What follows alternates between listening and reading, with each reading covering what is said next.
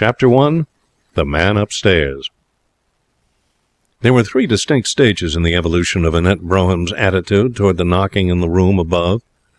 In the beginning it had been merely a vague discomfort. Absorbed in the composition of her waltz, she had heard it almost subconsciously. The second stage set in when it became a physical pain, like red-hot pincers wrenching her mind from her music. Finally, with a thrill in indignation, she knew it for what it was an insult.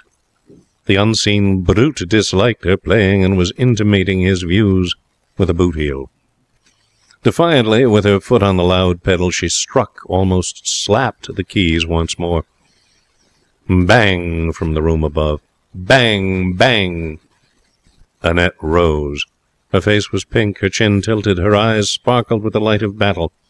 She left the room and started to mount the stairs.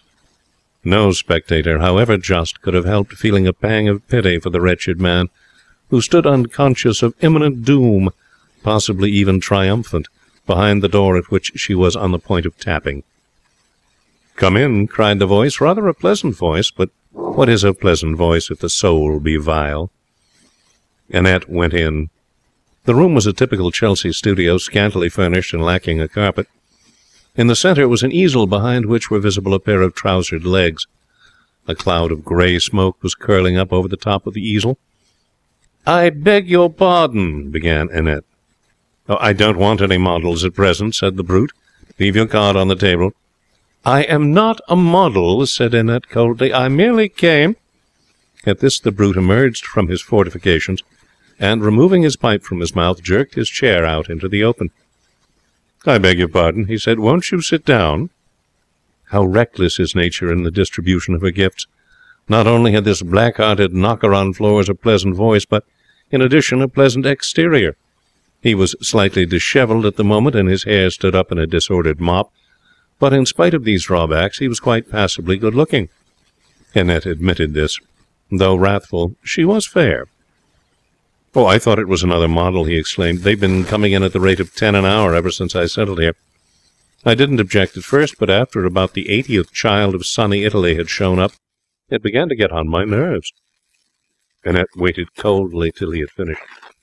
"I am sorry," she said, in a "this is where you get yours" voice, "if my playing disturbed you." One would have thought nobody but an Eskimo wearing his furs in winter underclothing could have withstood the iciness of her manner. But the brute did not freeze. "I am sorry," repeated Annette, well below zero, "if my playing disturbed you. I live in the room below, and I heard you knocking."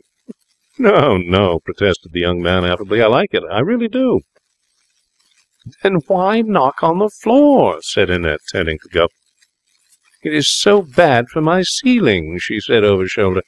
"I thought you would not mind my mentioning it. Good afternoon." "No, no, no, no, no, no, no. but but one moment. Don't go." She stopped. He was surveying her with a friendly smile. She noticed most reluctantly that he had a nice smile. His composure began to enrage her more and more. Long ere this he should have been writhing at her feet in the dust, crushed and abject. "You see," he said, I, "I'm awfully sorry, but it, it's like this. I love music. But what I mean is, you weren't playing a, a, a tune. It, it was just the same bit over and over again. I was trying to get a phrase, said Annette, with dignity, but less coldly. In spite of herself, she was beginning to thaw. There was something singularly attractive about the shock-haired youth. A phrase? Of, of music, for, for my waltz. I am composing a waltz. A look of such unqualified admiration overspread the young man's face that the last remnants of the ice pack melted. For the first time since they had met, Annette found herself positively liking this blackguardly floor smiter. "Can you compose music?" he said, impressed. "Well, yes. I've written one or two songs." "It must be great to be able to do things, you know, artistic things, I mean, like like composing." "Well, well, you do, don't you? You you paint." The young man shook his head with a cheerful grin. "I fancy," he said, "I should make a pretty good house painter. I want scope. Canvas seems to cramp me." It seemed to cause him no discomfort. He appeared rather amused than otherwise. "Oh, let me look." She crossed over to the easel. "Oh, I shouldn't," he warned her. "You really want to? Is this not mere recklessness? Very well, then." To the eye of the experienced critic, the picture would certainly have seemed crude. It was a study of a dark-eyed child holding a large black cat. Statisticians estimate that there is no moment during the day when one or more young artists somewhere on the face of the globe are not painting pictures of children holding cats. I call it Child and Cat, said the young man. Rather a neat title, don't you think? Gives you the main idea of the thing right away. That, he explained, pointing obligingly with the stem of his pipe, is the cat. Annette belonged to that large section of the public which likes or dislikes a picture according to whether its subject happens to please or displease them. Probably there was not one of the million or so child and cat eyesores at present in existence which she would not have liked. Besides, he'd been very nice about her music. I think it's splendid, she announced. The young man's face displayed almost more surprise than joy. Do you really? he said. Then I can die happy. That that is, if you'll let me come down and listen to those songs of yours first. You would only knock on the floor, objected Annette. I'll never knock on another floor as long as I live, said the ex-brute reassuringly. I hate knocking on floors. I don't see what people want to knock on floors for, anyway. Friendships ripen quickly in Chelsea. Within the space of an hour and a quarter, Annette had learned that the young man's name was Alan Beverley, for which family heraldic affliction she pitied rather than despised him. That he did not depend entirely on his work for a living, having a little money of his own, and that he considered this a fortunate thing. From the very beginning of their talk, he pleased her. She found him an absolutely new and original variety of the unsuccessful painter. Unlike Reginald Sellers, who had a studio in the same building, and sometimes dropped in to drink her coffee and pour out his troubles, he did not attribute his non-success to any malice or stupidity on the part of the public. She was so used to hearing Sellers lash the Philistine and hold forth on unappreciated merit that she could hardly believe the miracle when, in answer to a sympathetic bromide on the popular lack of taste in art, Beverley replied that, as far as he was concerned, the public showed strong good sense. If he had been striving with every nerve to win her esteem, he could not have done it more surely than with that one remark. Though she invariably listened with a sweet patience which encouraged them to continue long after the point at which she had begun, in spirit, to throw things at them, Annette had no sympathy with men who whined. She herself was a fighter. She hated as much as anyone the sickening blows which fate hands out to the struggling and ambitious. But she never made them the basis of a monologue act. Often after a dreary trip round the offices of music publishers, she would howl bitterly in secret and even gnaw her pillow in the watches of the night, but in public her pride kept her unvaryingly bright and cheerful. Today, for the first time, she revealed something of her woes. There was that about the mop-headed young man which invited confidences. She told him of the stony-heartedness of music publishers, of the difficulty of getting songs printed unless you paid for them, of their wretched sales. But those songs you've been playing, said Beverley, they've been published. Well, yes, those three, but they're the only ones. And, and, and didn't they sell? Well, hardly at all. You see, a song doesn't sell unless somebody well-known sings it. And people promise to sing them and then don't keep their word. You can't depend on what they say. Give me their names, said Beverley, and I'll go round tomorrow and shoot the whole lot. But can't you do anything? Well, only keep on keeping on. I wish, he said, that any time you're feeling blue about things you would come up and pour out the poison on me. It's no good bottling it up. Come up and tell me about it, and you'll feel ever so much better. Or let me come down any time things aren't going right. Just knock on the ceiling. She laughed. Don't rub it in, pleading Beverley. It isn't fair. There's nobody so sensitive as a reformed floor knocker. You'll come up or let me come down, won't you? Whenever I have that sad, depressed feeling, I go out and kill a policeman. But you, you wouldn't care for that. So the only thing for you to do is to knock on the ceiling. Then I'll come charging down and see if there's anything I can do to help. You'll be sorry you ever said this. Oh, I won't, he said stoutly. If you really mean it, it, it, it would, it would be a relief, she admitted. Sometimes I'd give all the money I'm ever likely to make for someone to shriek my grievances at. I always think it must have been so nice for the people in the old novels when they used to say, Sit down and I will tell you the story of my life. Mustn't it have been heavenly? Well, said Beverley, rising, you know where I am if I'm wanted, right up there where the knocking came from. Knocking? Knocking? said Annette. I remember no knocking. Would you mind shaking hands? said Beverley. A particularly maddening hour with one of her pupils drove her up the very next day. Her pupils were at once her salvation and her despair. They gave her the means of supporting life, but they made life hardly worth supporting. Some of them were learning the piano, others thought they sang. All had solid ivory skulls.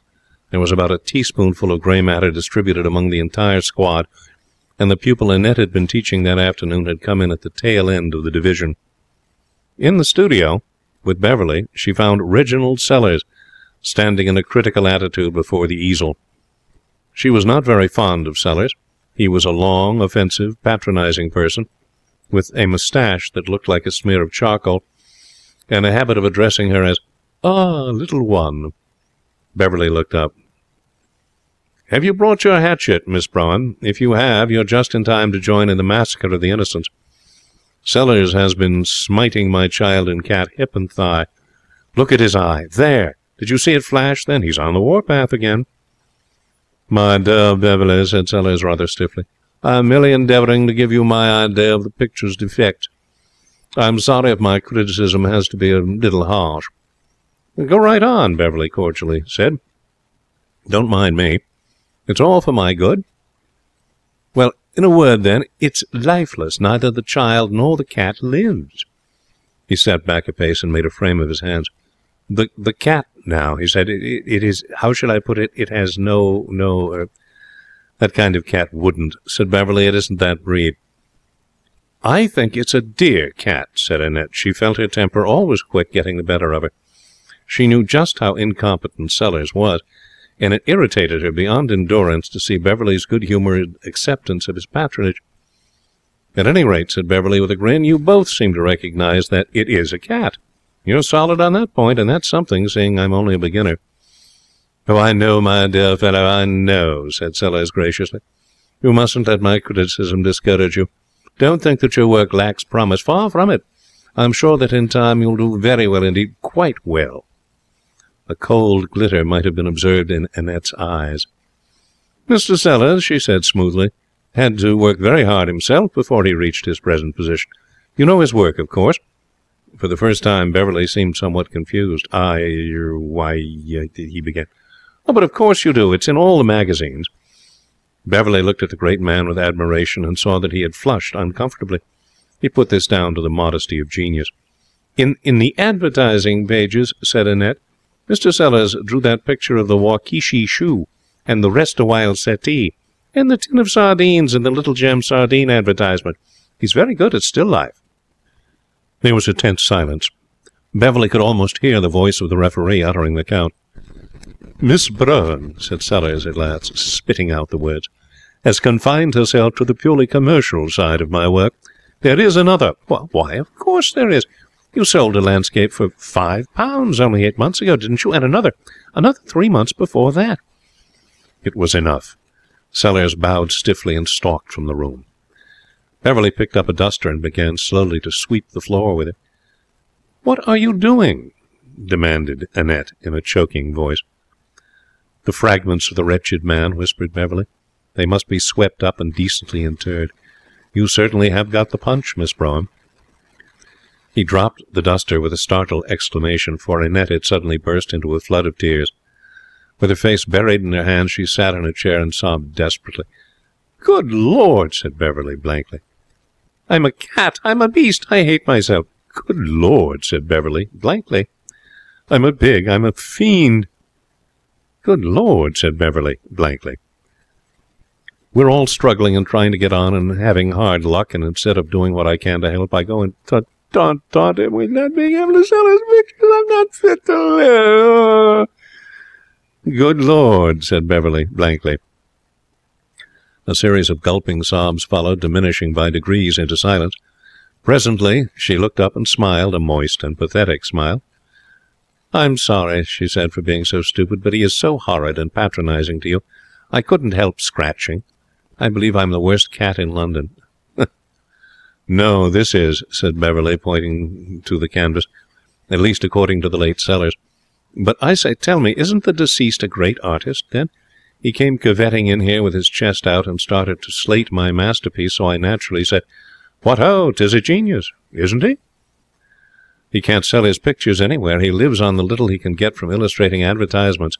And I thought, thought... Please, said Beverley apprehensively. She recovered herself with a gulp. I can't help it, she said miserably. I rubbed it in. Oh, it was hateful of me, but I was all on edge from teaching one of my awful pupils, and when he started to patronize you... She blinked. Poor devil, said Beverley. I never guessed. Good Lord. I must go and tell him I'm sorry, she said. He'll snub me horribly, but I must. She went out. Beverley lit a pipe and stood at the window, looking thoughtfully down into the street. It's a good rule in life never to apologize. The right sort of people do not want apologies, and the wrong sort take a mean advantage of them. Sellers belonged to the latter class. When Annette, meek, penitent, with all her claws sheathed, came to him and grovelled, he forgave her with a repulsive magnanimity, which in a less subdued mood would have stung her to renewed pugnacity. As it was, she allowed herself to be forgiven, and retired with a dismal conviction that from now on he would be more insufferable than ever. And her surmise proved absolutely correct.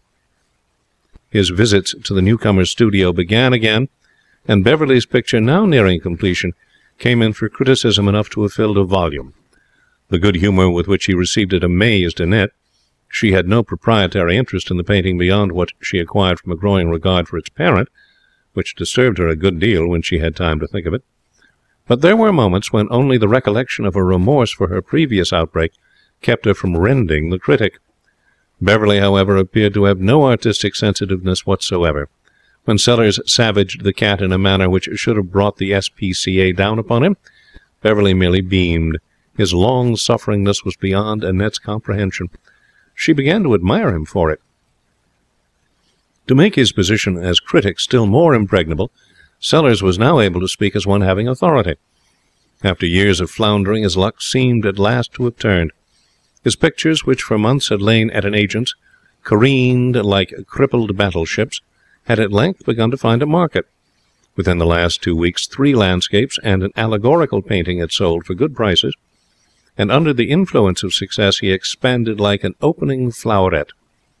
When Epstein, the agent, wrote to say that the allegory had been purchased by a Glasgow plutocrat of the name of Bates for one hundred and sixty guineas, Sellers' views on Philistines and their crass materialism and lack of taste underwent a marked modification. He spoke with some friendliness of the man Bates. To me, said Beverley, when informed of the event by Annette, the matter has a deeper significance. It proves that Glasgow has at last produced a sober man. No drinker would have dared face that allegory. The whole business is very gratifying. Beverley himself was progressing slowly in the field of art. He had finished The Child and Cat, and had taken it to Epstein together with a letter of introduction from Sellers. Sellers' habitual attitude now was that of the kindly celebrity who has arrived and wishes to give the youngsters a chance. Since its departure, Beverley had not done much in the way of actual execution. Whenever Annette came to his studio, he was either sitting in a chair with his feet on the window sill smoking, or in the same attitude listening to Sellers' views on art. Sellers, being on the upgrade, a man with many pounds to his credit in the bank, had more leisure now. He had given up his advertisement work and was planning a great canvas, another allegorical work. This left him free to devote a good deal of time to Beverley, and he did so. Beverley sat and smoked through his harangues. He may have been listening, or he may not.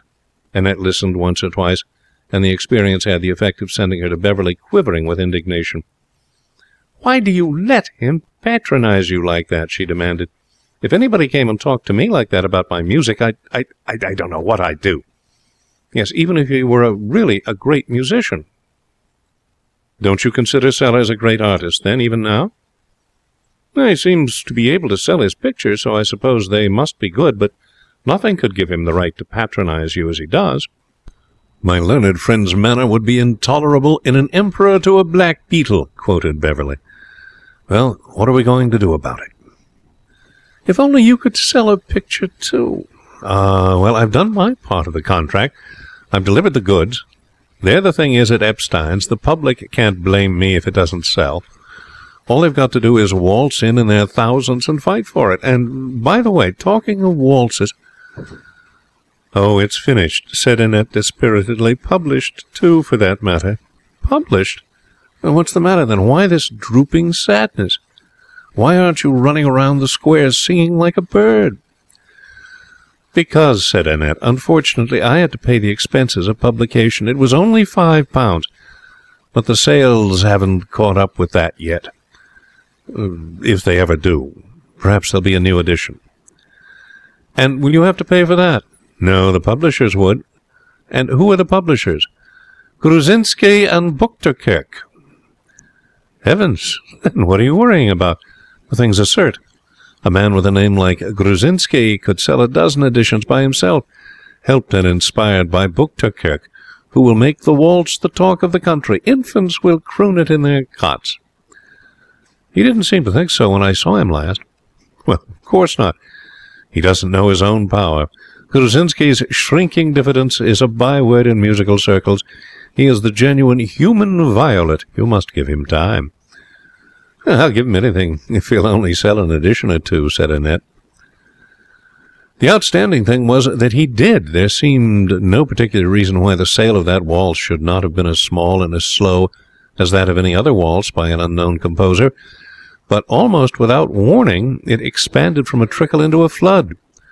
Grusensky, beaming paternally whenever Annette entered the shop, which was often, announced two new editions in a week.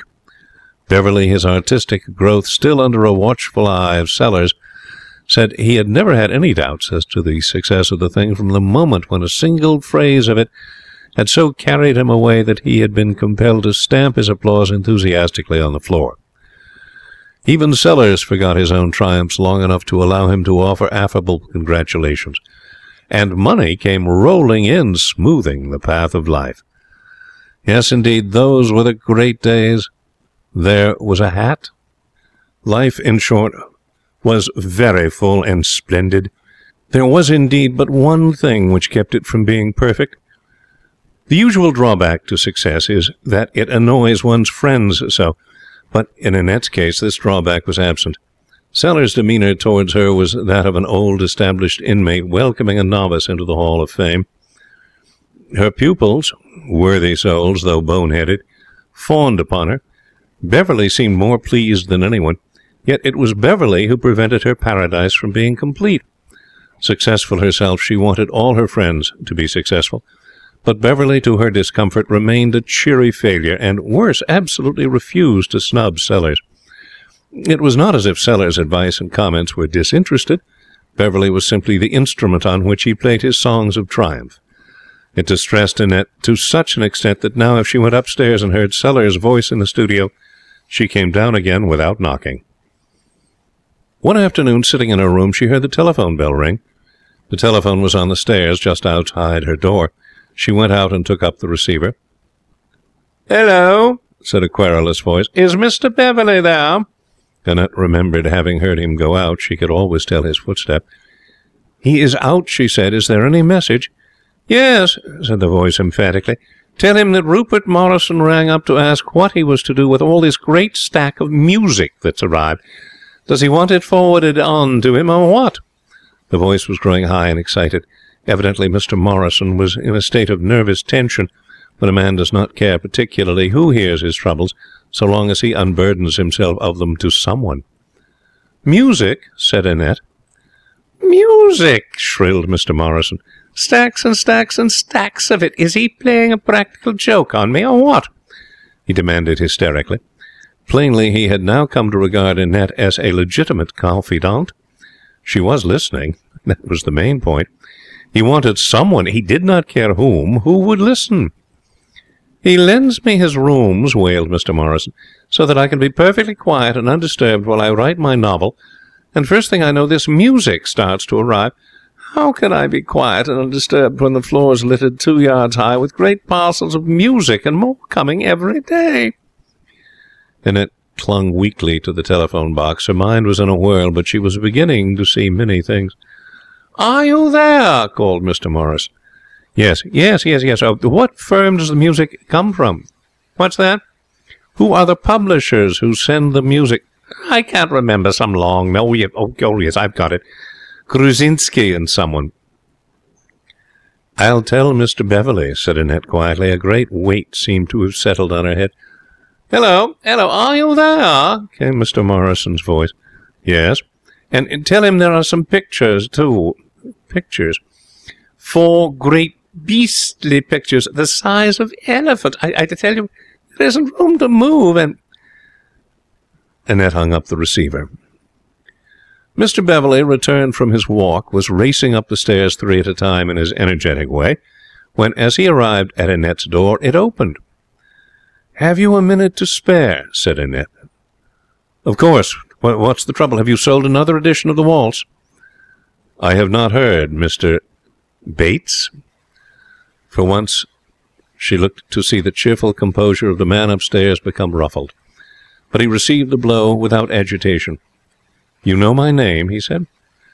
"I know a good deal more than your name. You are a Glasgow millionaire. Yes, it's true, he admitted, but it's heredity. My father was one before me. And you use your money, said Annette bitterly, creating fool's paradises for your friends, which last, I suppose, until you grow tired of the amusement and destroy them. Doesn't it ever strike you, Mr. Bates, that it's a little cruel? Do you think Mr. Sellers will settle down again cheerfully to hack work when you stop buying his pictures, and he finds out that, that... Well, I shan't stop, said the young man. If a Glasgow millionaire mayn't buy Sellers' allegorical pictures, whose allegorical pictures may he buy? Sellers will never find out. He'll go on painting, and I'll go on buying, and all will be joy and peace. Indeed. And what future have you arranged for me? You, he said reflectively. Well, you, I want to marry you. Annette stiffened from head to foot. He met her blazing eyes with a look of quiet devotion. Marry me? "Oh, I know what you're thinking," he said. "Your mind is dwelling on the prospect of living in a house decorated throughout with Sellers' allegorical pictures. But it won't be. We'll store them in the attic."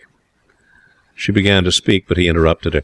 "Listen," he said. "Sit down, and I will tell you the story of my life. Well, we'll skip the first twenty-eight years and three months, merely mentioning that for the greater part of that time I was looking for somebody just like you. A month and nine days ago I found you. You were crossing the embankment. I was also on the embankment, in a taxi. I stopped the taxi, got out, and observed you just stepping into the Charing Cross Underground. I sprang. This does not interest me, said Annette. Oh, but the plot thickens, he assured her. We left our hero springing, I think, just so. Well, you took the West End train and got off at Sloane Square. So did I. You crossed Sloane Square, turned up King's Road, and finally arrived here. I followed. I saw a notice up, Studio to Let, I reflected that, having done a little painting in an amateur way, I could pose as an artist all right, so I took the studio. Also, the name of Alan Beverley. My own is Bill Bates. I had often wondered what it would feel like to be called by some name like Alan Beverley or Cyril Trevelyan. It was simply the spin of the coin which decided me in favor of the former. Once in, the problem was how to get to know you. When I heard you playing, I knew it was all right. I had only to keep knocking on the floor long enough. Do you mean to tell me, Annette's voice trembled, do you mean to tell me that you knocked that time simply to make me come up? Eh, that was it. Rather a scheme, don't you think? And now, would you mind telling me how you found out that I had been buying your waltz? Those remarks of yours about fools' paradises were not inspired solely by the affairs of Sellers. But it beats me how you did it. I swore Grusensky, or whatever his name is, to secrecy. A Mr. Morrison, said Annette indifferently, rang up on the telephone and asked me to tell you that he was greatly worried by the piles of music which were littering the rooms you lent him. The young man burst into a roar of laughter. Poor old Morrison! I forgot all about him. I lent him my rooms at the Albany. He's writing a novel, and he can't work if the slightest thing goes wrong. It just goes to show... Mr. Bates. Yes. Perhaps you didn't intend to hurt me. I dare say you meant only to be kind, but but, oh, can't you see how you have humiliated me? You've treated me like a child, giving me a make-believe success just to, just to keep me quiet, I suppose. You... He was fumbling in his pocket. May I read you a letter? he said. A letter? Quite a short one. It's from Epstein, the picture dealer. This is what he says. Sir, meaning me, not dear Bill, mind you, just sir, I am glad to be able to inform you that I have this morning received an offer of ten guineas for your picture, Child and Cat. Kindly let me know if I am to dispose of it at this price. Well, said Annette in a small voice. I have just been to Epstein's. It seems that the purchaser is a Miss Brown. She gave an address in Bayswater. I called at the address. No Miss Brown lives there, but one of your pupils does. I asked her if she was expecting a parcel from Miss Brown, and she said that she had had your letter and quite understood and would take it in when it arrived. Annette was hiding her face in her hands. Go away, she said faintly. Mr. Bates moved a step nearer. Do you remember that story of the people on the island who eked out a precarious livelihood by taking in one another's washing? he asked casually. Go away, cried Annette. I've always thought, he said, that it must have drawn them very close together, made them feel rather attached to each other, don't you? Go away. I don't want to go away. I want to stay and hear you say you'll marry me. Please, go away. I want to think. She heard him moving towards the door. He stopped, then went on again. The door closed quietly. Presently, from the room above came the sound of footsteps footsteps pacing monotonously to and fro like those of an animal in a cage. Annette sat listening. There was no break in the footsteps. Suddenly she got up. In one corner of the room was a long pole used for raising and lowering the window sash. She took it and for a moment stood irresolute. Then, with a quick movement, she lifted it and stabbed three times at the ceiling. End of story one. The Man Upstairs. Recording by Mike Harris.